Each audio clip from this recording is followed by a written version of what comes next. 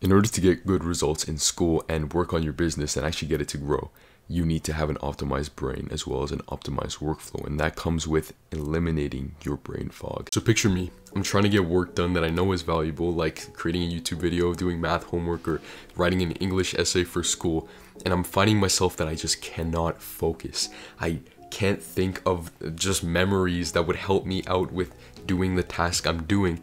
I can't seem to remember how to do the task I'm doing and the skills that I thought I had are gone. I'm frustrated, I'm tired, and I just can't focus. And the time's passing, the time's ticking, and the amount of time that I had before, suddenly it's cut in half, and I haven't done anything. And that hurts. It literally like physically painful. I feel it in my throat. I get like a little hole in my stomach and I'm realizing, man, I'm wasting time and time you cannot get back. I used to wait for a time where circumstances would perfectly line up and I would have the clarity and direction to get the things that I wanted to get done done. However, those perfect times, those perfect right state of minds, they come so rarely that most of the time we're left with almost this brain fogginess. And the great success comes from the great work you do, and that great work comes from saying, brain fog. I'm going to make the right circumstance. This video is not going to go into things that you already know, like get good sleep, do a backflip, get good nutrition. This is science-backed protocols that I had to figure out, and I actually went and actively watched like scientific dudes like doing their things.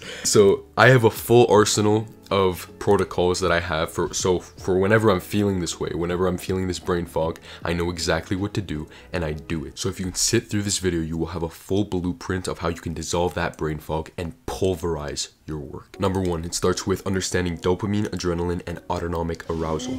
Now, autonomic arousal is the extent to which you are feeling anxious and alert. Now, that basically means if you got a high autonomic arousal, then you've got a high speed heart rate, maybe you're sweating a little bit, maybe you're trembling or shaking, you are so awake that you might not even be able to focus on the work that you're doing because you just don't know what to do with all your energy. And low autonomic arousal results in like a difficulty in sustaining attention or inability to focus on any task of little stimulation or little immediate importance. Sound familiar, man? Because it does for me. So basically, autonomic arousal is talking in terms of stress. And the way you break out of brain fog is that you release the hormones and neurotransmitters that cause you to act your immediate best. And maybe you might be thinking, but no, stress is bad.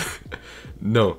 Stress is a way for your body to mobilize its resources, so therefore it is good it is that fight or flight response. Imagine if there was a hungry tiger right in front of you and you had just woken up. Imagine you open your eyes and then there's just like a tiger in the end of your room right there. You would have to act your immediate best. Either you have to fight your way out or you have to run or else you are gone. You are dead. Either you choose fight or flight, you have to survive and you will find a way to survive. So Part of breaking out of brain fog is leveraging that release in hormones and neurotransmitters that will get you doing your best. Specifically, we have to leverage dopamine and adrenaline. Dopamine because it's linked to motivation will actually make you enjoy doing the hard work and make you actually want to do the work because, you know, while we shouldn't rely on motivation, we're relying on discipline. The discipline part of this is actually getting the work done, but the motivation, wouldn't you rather be motivated to do it? Because I know I would. The cool thing with dopamine also is that it'll give you more of a clear head because you are directed. You are so motivated that your brain, it actually wants to figure out how to do all the work. So you do figure it out. Then you have adrenaline because it's linked to the autonomic arousal. Think if you have a high autonomic arousal, like we said before, then you're feeling anxious. That's your adrenaline pumping. That's your adrenaline rush. So what we want to do is we want to give ourselves adrenaline rushes. That is what most of the protocols that we have here for are giving you. You are gonna feel pumped up after this. The first time you try this, you're gonna feel like, whoa, like totally sharp and totally ready. How do you implement that information into actual actionable steps?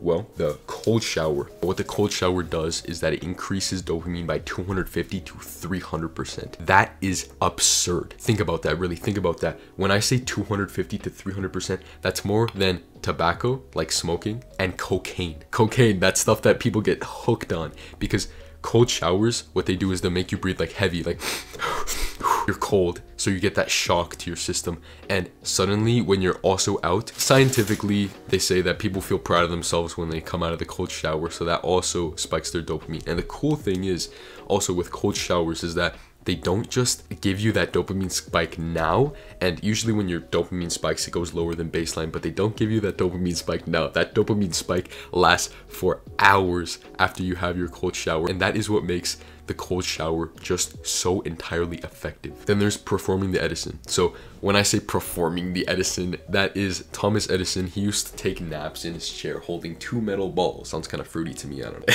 and uh, so when he'd be taking his nap, he would slowly start to relax his muscles and then what would happen would be that the balls would drop and they'd hit the floor and then suddenly he'd be hit out of relaxation then he would have just full clarity on the problems or things that he was dealing with that he had no idea how, how to deal with. And we will perform this in a more effective way actually using a nervous system reset and an alarm, almost simulating that tiger example that we had before. And then there's coffee. So the way coffee works is that coffee, the caffeine, binds to the adenosine receptors in your brain. And basically the adenosine receptors, adenosine is the hormone that makes you feel tired, the, the neurotransmitter that makes you feel tired. So when caffeine takes its place, suddenly you cannot feel tired because the adenosine cannot park in its spot. Imagine you're driving a car and you're trying to park in your spot, but you're not able to because there is another car there. That's basically how caffeine works. And drinking coffee makes your body more receptive to adrenaline and dopamine. Doesn't necessarily spike your dopamine like a lot of people say, but apparently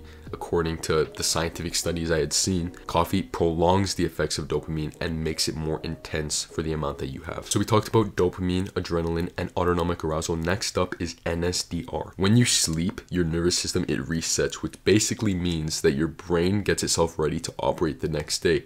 So if you don't get enough sleep, you simply are not ready for the next day and you're more prone to brain fog. But like I said, I'm not telling you that you need to sleep more because bro, you already know that. You want an actionable step and that is what I'm giving you. Non-sleep deep rest. NSDR or Yoga Nidra, but Yoga Nidra sounds a mystical and a little bit funny, so I just call it non-sleep deep rest.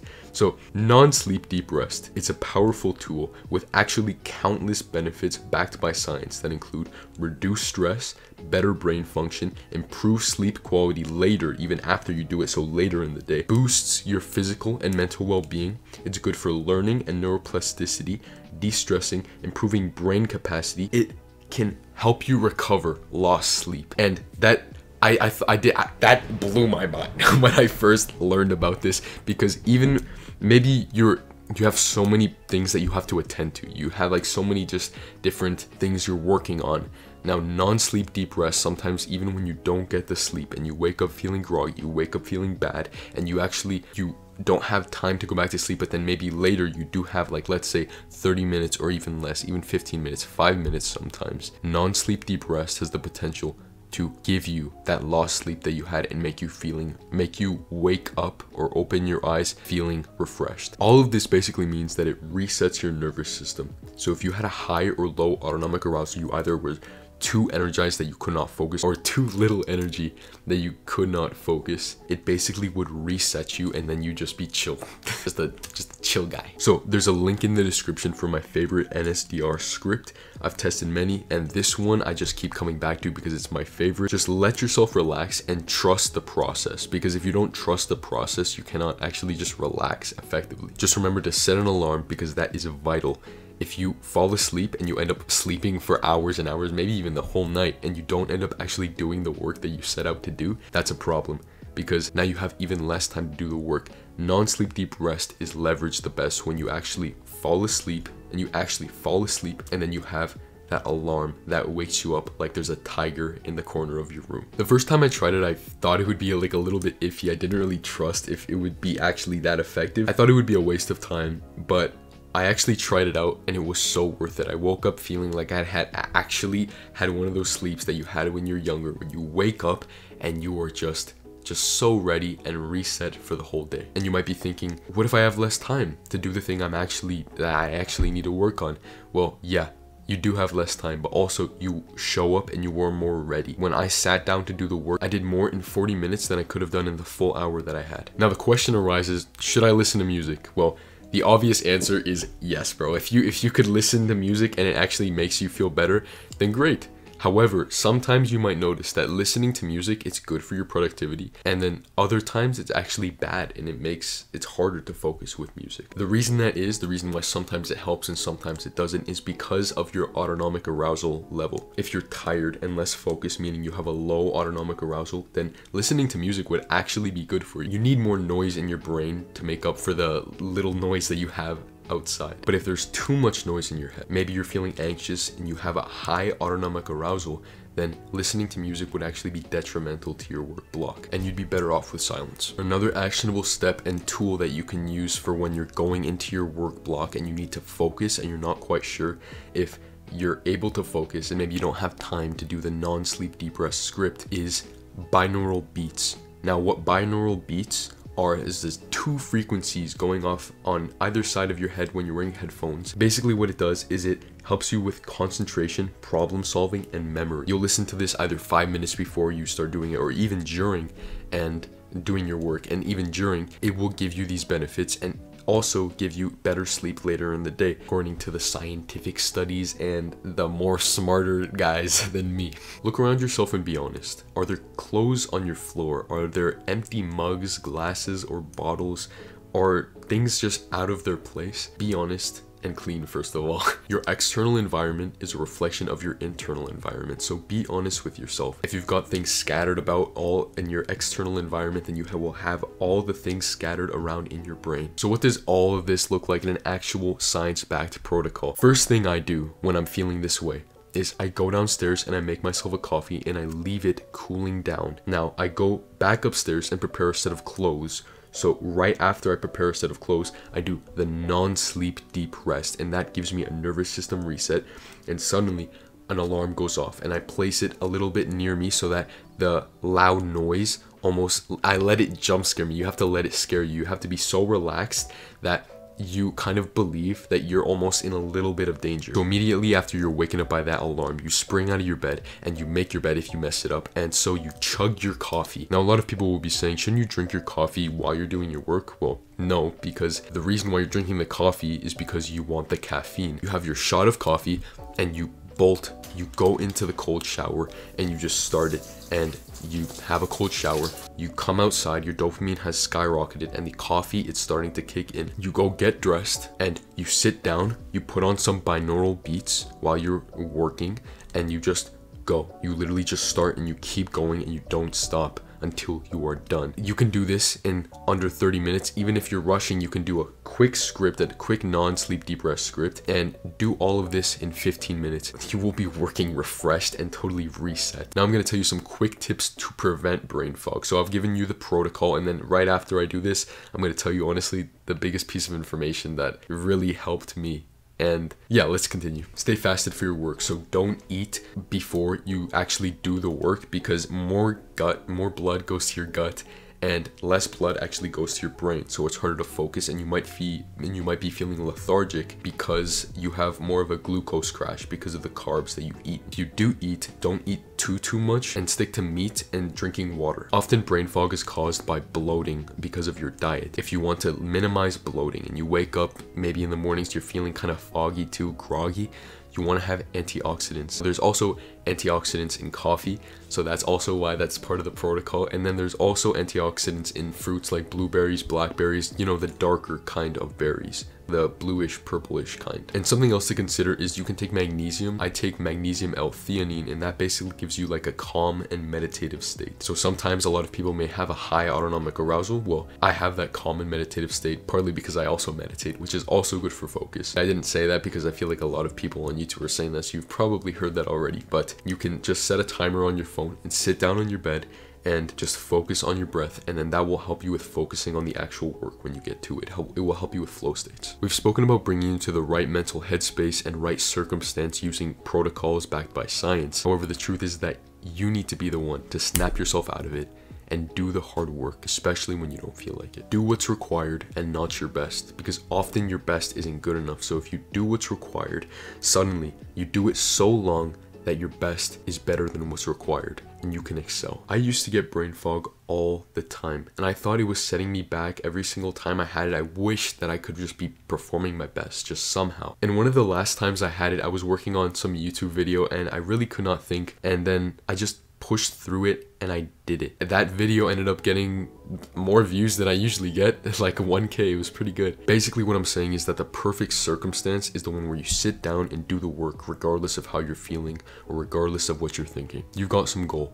And the reason why a lot of people fail in getting that same goal is because they feel what hard feels like and they quit. And this is what hard feels like this brain fog, not even knowing where you're going, not knowing if you're doing things right, just doing regardless that is what hard feels like. Where you are right now is where most people will quit and you will not quit because you know that others would have and you will smile because you know that you didn't and you haven't and you won't. You can just do the work and honestly, even if it's bad, you can just come back later. And even if you can't come back later to fix the little errors and make little edits, you've still gotten better at the skill of doing the work even when you were at your worst. And if you can get good at doing the work, even when you're at your worst, think about that. Doing what's required, suddenly you're better than what's required. And doing the work when you're at your worst, you do it so much that it looks like somebody else's best. Ooh. Ooh. Good job, buddy. every moment waited is a moment wasted, and every wasted moment degrades your sense of clarity and direction of purpose and will leave you feeling more stressed and more stressed and more stressed and more doubtful. I love you, bro. Stop waiting. Get this out of the way. Mwah.